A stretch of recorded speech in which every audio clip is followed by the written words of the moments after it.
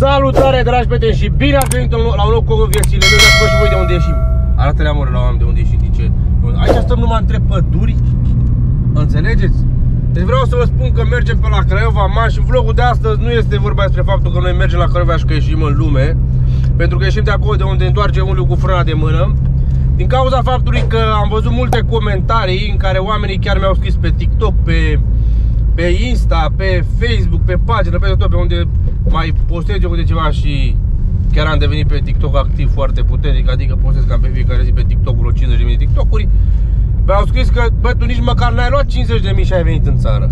Deci, practic, o să fie vorba despre bani făcuți cu băncile, ă, țăpe făcute, țăpele, am auzit că a dat lumea țăpă de 50.000 de... Noi n-am dat țeapă de 50.000, vreau să vă spunem, dragi prieteni, dar în principiu o să vorbim despre bănci. Primul cont pe care l-am avut a fost cu Barclays-ul în Anglia. Bă, mergi acolo, să faci cont bancar, îți cere două proof adresa, adică două, două, două proof ID, adică îți cere pașaportul, buletinul. Buletinul înseamnă că nu ți lua în calcul atunci și trebuia să le dai contractul de la casă, știi? Da, mi se pare că da. În fine. Mi-a făcut contul, trebuia să vin acasă pinul într-un plic și cardul într-un pic. Ce crezi, bă, că mi-a venit și pinul și cardul, dar nu știu ce am făcut cu pinul, ori l-am aruncat la coș, ori cine știe ce am făcut. Am văzut o foaie pe acolo, că vin mai multe pinuri, că vine pinul și de la ă, de la, de la, zi, de la contul online, adică îți faci, ai acces și la, și la online de la... Ah, hai că mă, o, este, este. Deci îți vine acolo un uh, cod pe care să-l bagi pe site-ul lor și îți vine încă un cod care să-l bagi ca și PIN și te duci la contul tău și poți faci tranzacții de pe laptop și faze de genul. Acum, ce s-a întâmplat? Eu m-am să am băgat de 3 ori pinul greșit, mi-a luat cardul. După ce mi-a luat cardul pe viața mea, mi-a luat, am luat o dată bani de la casă, am luat două ori bani de la casă, trei ori, n-am avut ce să mai iau bani de la casă și mi-a blocat cardul. Atunci a fost o situație foarte nasoală pentru că nu aveam bani să plătesc chiria, nu aveam bani nici să mănânc. Și m-am dus ca logul la Santander și am zis please, please, please, nu aveam niciun fel de credibilitate, iar la Santander n-au vrut să-mi facă cont cont din prima, că au zis că trebuie să faci ce cont 3 luni și după aia îmi fac un fel de cont provizoriu din două carduri. Cei care știu, sunt în domeniul, da, știu despre ce vorba. Faci din două carduri până să faci credibilitate cu ei și după 3 luni poți să-ți faci cont normal la care ai și credit score și toate nebunile pământului. Acum, eu mi-am făcut într-o sâmbătă, pe atunci lucram la Dent, trăgeam mult de tot pe la Dent, lucram, stăteam 4 zile, 5 zile la cabină, am reușit să strâng atunci cam într-un an vreo 12.000 de coco, 12.000 de lire am strâns când, când lucram eu la Dent. Da. Dar nu mi-am mai bătut capul, că am avut impresia că oricum fac credit score. Știi? Credit score-ul e ca atunci când vrei împrumut din bancă, dovedești că e serios cum ar veni. Faci tranzacții, îți rămân bani acolo, ăla e credit score, credibilitatea aia. Ăla e credit score. Bă, acum am plecat în România, am întors înapoi. După ce m-am întors înapoi, am descoperit LTD-ul. Ei, vreau să fac cont de business, pentru că la firmă trebuie să faci un alt cont. Cont de business. Du-te, bă, tu, Adriane, prin Wigan și caută tu să-ți facă cont.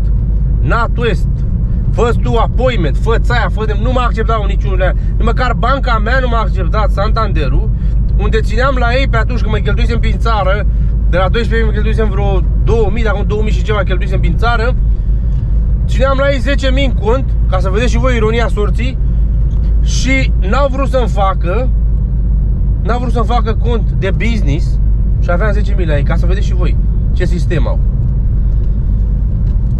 Pentru că băga acolo în calculator, mi-am făcut appointment, m-am dus la el la appointment ca să deschidem contul din au băgat acolo în sistem și că am credit scorul prea mic din cauza că numai atunci ce schimbasem din două carduri, îmi făcusem numai unul. Atunci ce schimbasem și nu trecuse mult, îmi trecuse cam o lună, mi-am să mai aștept vreo două luni și după aia. Băgam la marc atunci. Bă, am lucrat la marc vreo 3 luni de zile fără să încasez vreun ban. De ce? Pentru că îți cereau cont de business. Eu dacă nu aveam cont de business, era chiar Că atunci, în noiembrie am deschis eu uh, LDD-ul, da?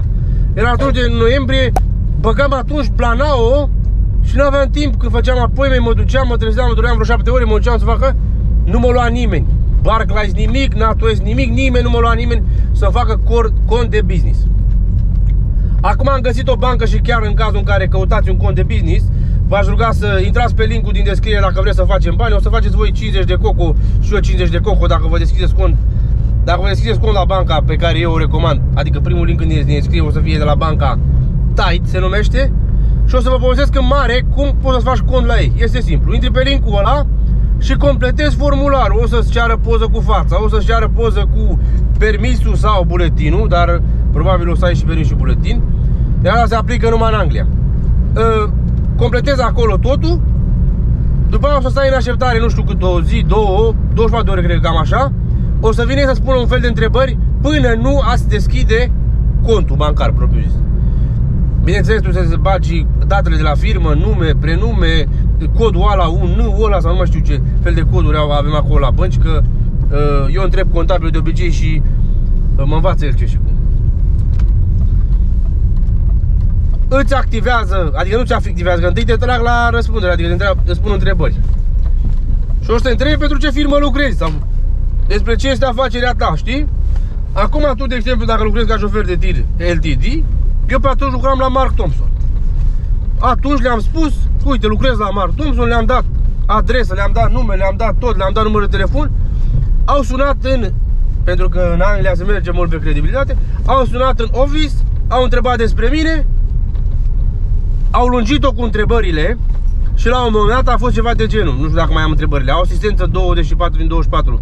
By the way, dacă vreau să vă spun și asta din cauza faptului că e bine știut că poți să, poți să uh, le scrii mesaje și să răspund uh, chiar rapid.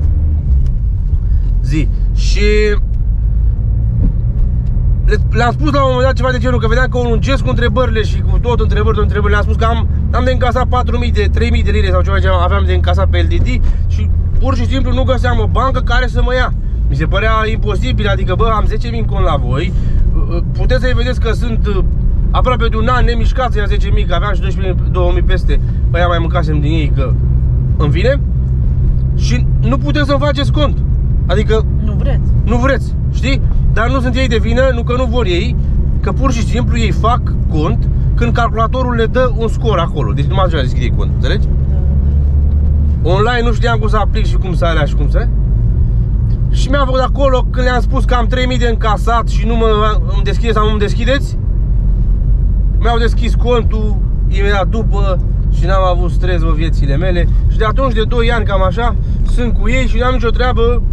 Adică pur și simplu ai Ai tot ce trebuie. N-au sediu Dar faci totul online, îți poți descărca de acolo um, statementurile. Statementurile în ce format vrei tu, cum ți le cere, cum ți le cere contabilul în cazul în care depui declarații, depui alea la sfârșit de an tot timpul. Și eu o recomand. Acum mai folosesc și Revolut dacă tot vorbim despre bănci. Cu băncile românești am terminat-o, din punctul meu de vedere sunt cei mai mari cămătari. Cămătari cu acte în regulă sunt băncile românești. Din cauza faptului că ultima oară, mi-aduc aminte, plăteam pentru contul de euro, că mai am un cont de euro din cauza faptului că mai aveam bani de pe comunitate în euro și mai aveam lei într-un cont de lei de când lucram eu acum vreo 3 ani pe comunitate. Că am strâns banii ca să-mi iau camion și după aia au rămas acolo, că ce să faci cu ei, că doar haine scumpe dacă nu mi iau de la Gucci, de la Prada, de la Deștia, de la Coco Chanel. Știi? Și de așa, ce să faci cu banii? Stau acolo, chidiți. Uh, și am cheltuit, am cheltuit, i-am tras, i-am scos ultima oară, mi se pare. I-am scos tot și am lichidat conturile că mi s-a părut nicio afacere. Am luat 3 euro administrare de sold pe contul de lei la Raiffeisen Plus că dădeam două ore la coadă în Craiova ca să mă duc să nu știu ce Dacă nu-l băgam șase luni în bancomat M-am trezit că mi-l înghite bancomatul și s-au blocat după aia Du-te, fă cont, fă doare mintea bă.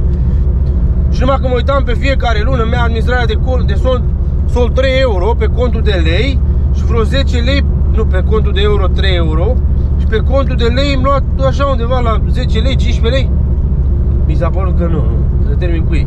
Probabil așa se procedează doar la oamenii care nu încasează salariile pe conturi și au conturi independente, gen, băi, eu țin, nu zic eu banii la voi, știi? Și am terminat cu Raiffeisen, nu? Nici să nu mai aude bănci românești, acum folosesc Revolut. Am văzut foarte multă lume că, că virgulă comentează că Revolut nu e o bancă bună din cauza faptului că transferă situația la ANAF. Din punctul meu de vedere n-am avut niciodată probleme cu Revolutul, dar eu mi-am creat Revolut în Anglia. Și cred că asta ar fi cea mai mare problemă. Adică, contul meu de Revolut a fost creat în Anglia, mi-a venit la ușe în Anglia. Deci o, o diferență între una și alta. E o diferență între una. Am impresia că e o, e o diferență radicală. Am auzit că dacă scrieți pe România cont de Revolut, pur și simplu ți-l blochează și îți cere un contract de muncă ca să poți justifica banii, cum am păzit eu în Anglia. Că m-a bătut de la subiect și mă întorc chiar acolo. Barclays mi-a blocat contul din cauza faptului că lor s-a părut că fac o fraudă și nu mi-au eliberat și 1800 primul cont. Uh, nu mi-au eliberat și 1800 de euro până când am venit cu payslip-urile. Payslip? Payslip-uri sau... De multe ori, sigur greșesc aici. Dar o să vedem răspunsul în comentarii. Uh, mi-au blocat, mi blocat contul pentru că au avut impresia că eu nu pot justifica banii ăia și dacă nu poți veni cu documente care să justifice de unde ai banii, nu-ți mai dau banii veci.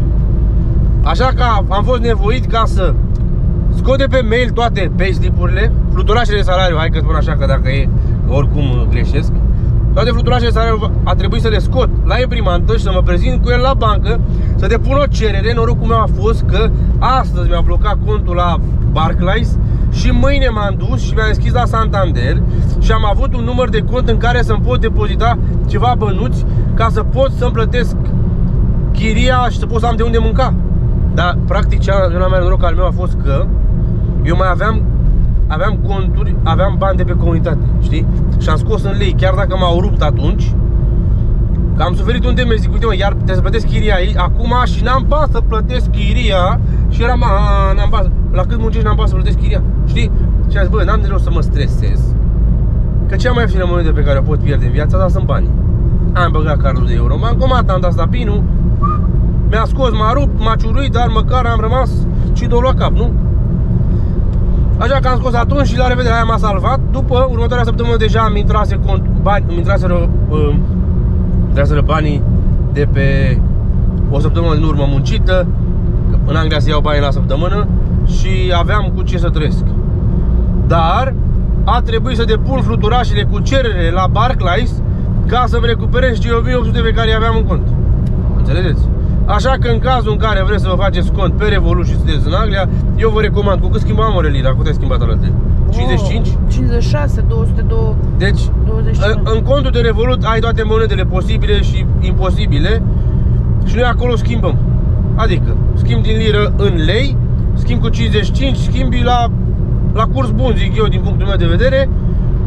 De impozitat, dacă plătești la magazin, nu te impozitează absolut deloc la modul la care dacă ai plătit la casă chiar nu-ți ia niciun comision și dacă scoți la a, bancomat, cât era amore, 30 de lei când am scos 40 de milioane să luăm mobil atunci?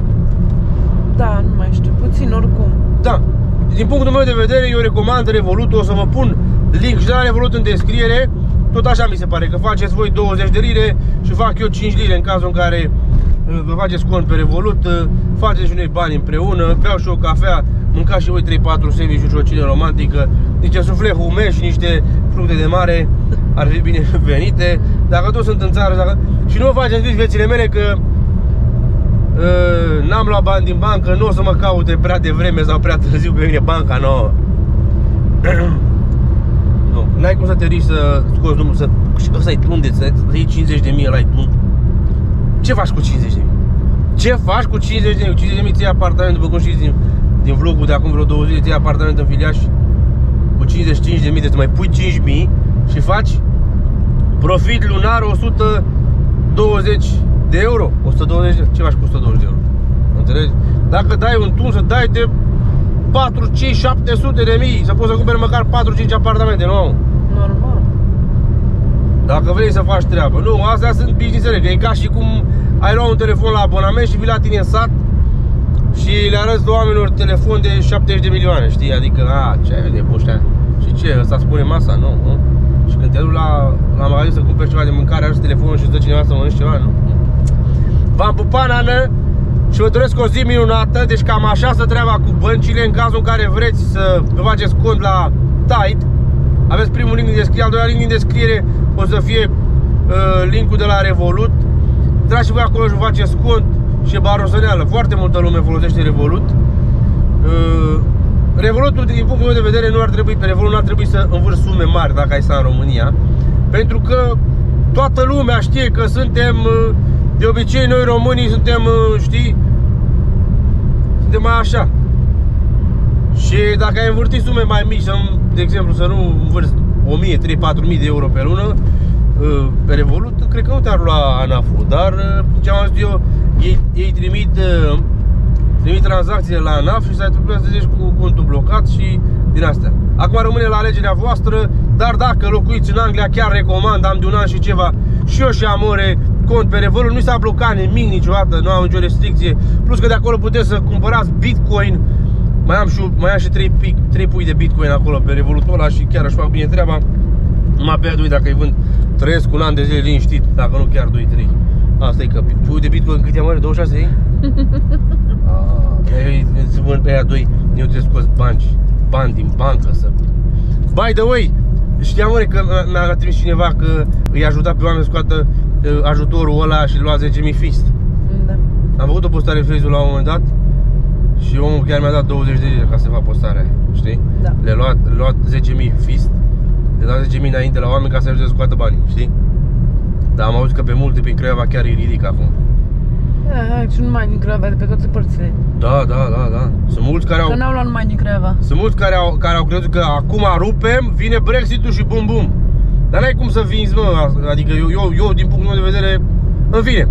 V-am pupat la mea și ne vedem data viitoare cu cea mai mare pace și cu cea mai mare grijă. Să bine și vă butonul de like, să dați mie un follow pe Insta și follow pe pagina Adrian Cox. Vă pup și vă doresc o zi, inclusiv pe TikTok sunt activ zilnic. V-am pupat și vă doresc o zi minunată. GoPro stop recording.